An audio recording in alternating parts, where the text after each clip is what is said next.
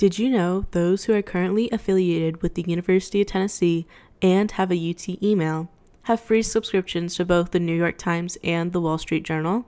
Here's how to activate it. Enter the URL shown on screen or click the links in the description. For the New York Times, type in the University of Tennessee or simply Tennessee. Select our school. Next, hit go. Next, enter in your NetID and password and complete the two step authentication process. Enter in your UT email and create a password. If you're a student, add your graduation year. And just like that, you're all set.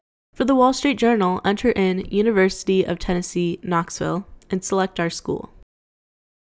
Enter in your NetID and password. Add your first and last name and be sure to use your UT email.